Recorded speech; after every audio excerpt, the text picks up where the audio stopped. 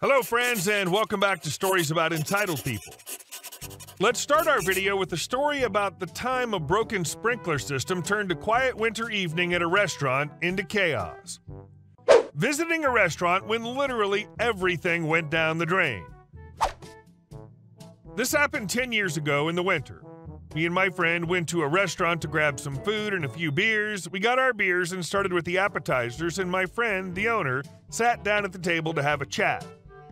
It had been really cold for a long time, and most people stayed home because of it, and the restaurant wasn't actually crowded. The layout of the restaurant is kitchen and bar in one end and two large rooms for the tables. The rooms are separated by a wall with openings at each end for the waiters to go their rounds. There were a few guests in each room, so like I said, it wasn't crowded. Suddenly, it started dripping water from the ceiling in the other room, not much, but only a few drops, and they hit a woman in the head. We're quite relaxed in my country, so she simply moved away from the dripping and over to another table. It was cold outside, so it might just be condensation. After a few minutes, it got very clear that wasn't the issue. We heard a bang, and the pipe for the sprinkler system broke, the water in it had frozen, water started to flow, and the table they were sitting on was hit directly. The sprinkler system has quite a high pressure to it, and the water kept gushing out, and everyone at that table were getting soaking wet. The guests jumped out of their chairs and to a dry place before they left and went home. The owner and waiters ran around like headless chickens and didn't know what to do. It was complete chaos. My friend that I was with ran after asking the owner where the water valves were downstairs and into the valve room where he turned the water off while I was calling the fire department. They asked me a bunch of questions and I answered them the best I could. I explained to them that I don't work here, but somebody needed to take charge of the situation I was simply a guest. All the guests went, of course, home. Nobody sued anyone, as that's not something we usually do here when accidents happen. Me and my friend sat back down at our table and finished our food and beers while the fire department sucked all the water up and did damage control.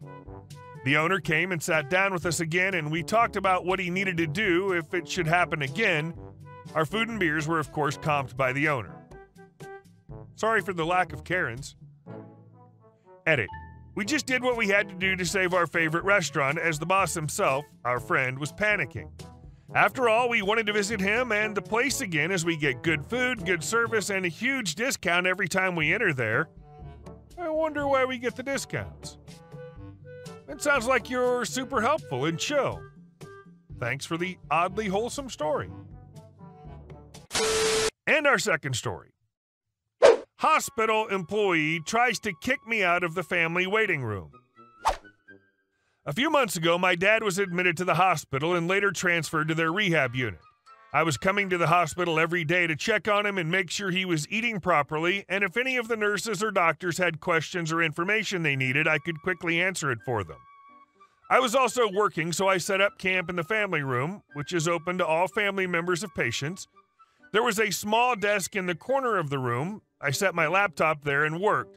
Then, after my shift ended, I would go back to my dad's room and spend time with him until visiting hours ended. The family room is usually empty during the daytime. I have my headphones on and worked quietly. If another family member does come in, I let them know they can turn the TV on and not to worry about me. My headphones drown out the noise, and I know it's a shared room.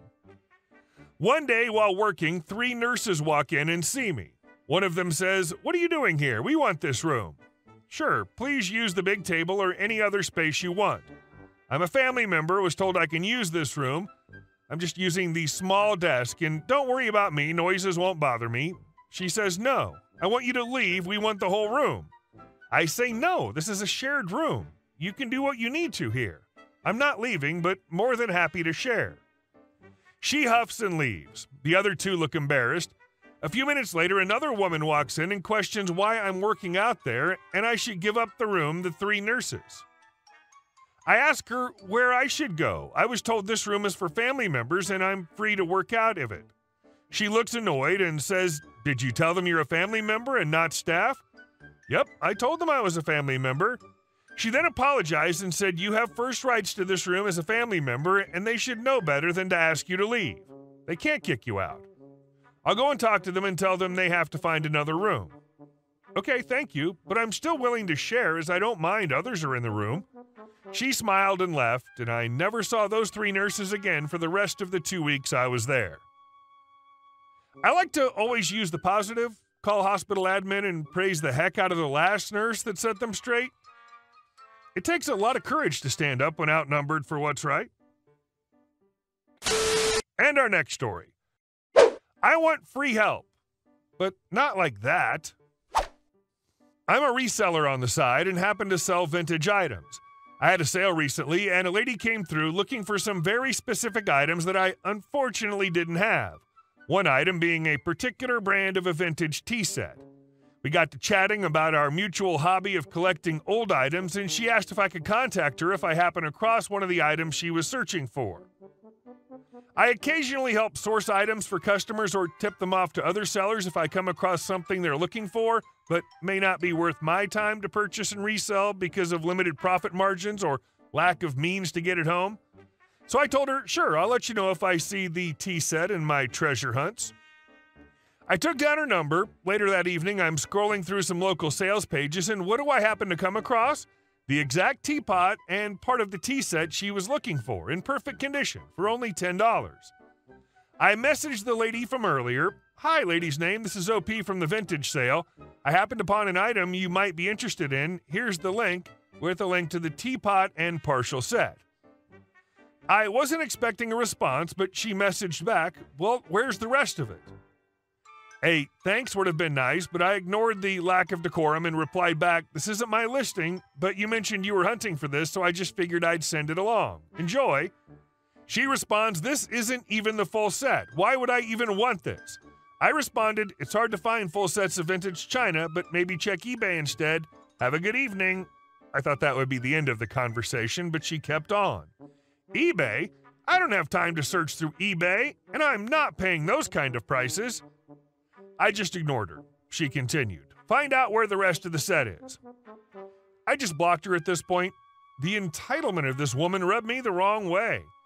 I did a charitable thing by letting her know where she could find some great pieces of this old tea set. Not only was there absolutely zero acknowledgement of the favor, but Lady doubled down and tried to make me do extra work for her. Ugh. Thankfully, most of my customers are grateful when I point them towards a good deal they can get at cost. But this lady was something else. No good deed goes unpunished. Wow. I, I think you did a lovely thing. And shame on her for reacting like that. I would have been excited even just to source one piece. And our last story. And our next story. Parking at my work is a nightmare. I'm an overnight security guard. I work 7 p.m. to 7 a.m. most nights.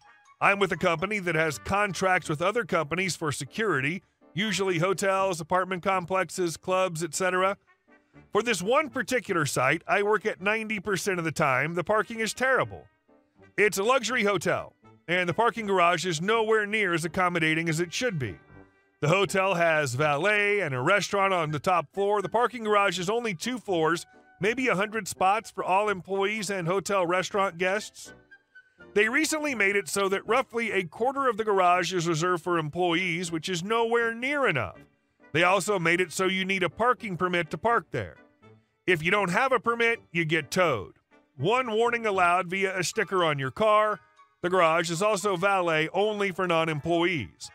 Only other option is to pay to park in the street. Personally, I have three cars, not counting my SOs that I drive on occasion, the parking permits list your car's year, make, model, color, and license plate number. My boss told me that the permits are transferable between cars, but they'll come and ask you why the permit does not match the car. My boss told me to say, Well, boss's name told me that the permits are transferable between cars, and this is the car I drove today. Also, I asked them for permits for all of my cars to save time, and they said every person only gets one permit. I was also told they have to check every time the permit does not match, whether they know the car or not. Cue malicious compliance. The day I received my permit, I continued to drive a different car every day. One of my three cars, my SO's car, my mom's car, her boyfriend's car. Every car I was able to drive, I drove to work. After a while, management was starting to get upset about it. I gave them the same answer every time, I told them, well, my boss said they're transferable, and this is the car I drove here today. After about a month and a half of this, I came in one day to my office, and there it was in all its glory a stack of permits for every single car I ever drove to work, each with their year, make, model, color, and tag number. Work 0, OP1. Neighbor's fence on my property. Hello, I'm in the United States, the state of California, and in Riverside County. I'm having a problem with my neighbor's fence that's on my property. They built the fence just shy of five years ago, and I purchased the property about a year and a half ago. It took me until the last month to notice that their fence, which they built to extend off of an interior fence that's on my property and only set back a foot from the interior fence, actually extended onto my property at an angle, reaching 14 feet onto my property at its greatest point. I talked to the neighbors and they agreed that a survey was the first thing that we needed to get before we moved forward. We already had a survey that was done decades before, but they wanted another one. I agreed and they said they would split the cost of the survey. A couple days later, before I got the survey done, they reneged on splitting the cost of the survey. I went ahead and got the survey done at my own expense. The results of the survey affirmed my initial concern that their fence was on my property. I notified them of the results, and they started blaming the fencing company, saying they reassured them that the fence was on the property line. I talked to the person at the fencing company who originally installed the fence, and he told me that he voiced his concerns that the fence was not on the property line, but my neighbor told him to go ahead anyways. For several weeks, we went back and forth via email about what to do about the fence until I said that I wanted them to remove the fence that was on my property. I made it clear that that was my wish and gave them eight days to give me a timetable of when they planned to remove the fence. They didn't respond with their intention to remove the fence, but only came back with other solutions, such as paying for the cost of a new perimeter fence or me giving them permission to use the property that their fence was encroaching on. I continued to state that I only wanted their fence removed from my property. What also bothers me is the fact that my neighbor's wife is a judge, which can play into their favor even if they're wrong. After the eighth day, I started removing the fence myself. They emailed me saying that it was a civil matter that could only be adjudicated in court, and I would be liable for the damages that would incur if I continued to take down the fence. They called the cops while I was removing the fence, and the police officer said that they could not stop me from removing the fence that was on my property. I finally finished the removal of the fence on my property and am keeping the fencing materials that I removed in my garage they're now threatening me with a small claims suit for damages that they will not specify. I haven't received any court papers yet, and I'm wondering if I was fully within the letter of the law in my removal of the fence. I've heard from a couple of people and online that they're entitled to their fencing material back, even if they installed it knowingly on my property and refused to remove it themselves in a timely manner, and that they can also claim that I must pay for half of a new perimeter fence along the property line. I don't think it's necessarily true that you're stealing the fence material. At traditional common law, at least, an unwanted improvement on your property belongs to you. If the previous owner didn't agree to having the fence on his or her land, I'm pretty sure the fence belonged to you. Hey guys, thank you all for watching the video. I'll see you in the next one.